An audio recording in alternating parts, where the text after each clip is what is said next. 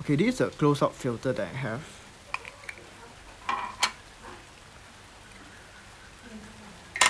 It's a close-up filter. Uh, it's made by Voigtlander, and it's designed for the 90mm 30 f3.5 SL lens.